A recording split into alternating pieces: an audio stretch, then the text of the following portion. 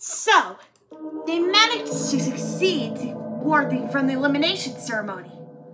Oh, well, we can defeat them later. Well, not that they know that we got a powerful one who would try to betray us on our side, and she's not going anywhere. Ugh!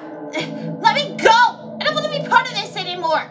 Oh, Kiazuki. Ah, Kiazuki. You have rather suffered your consequences after what you did.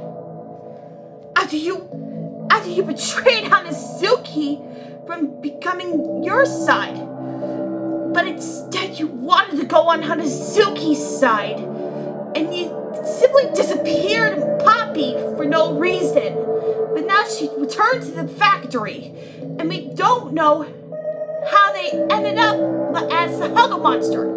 And it's all your fault. It's all your fucking fault.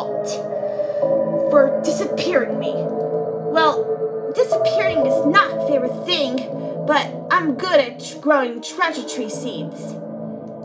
You'll see. You'll see.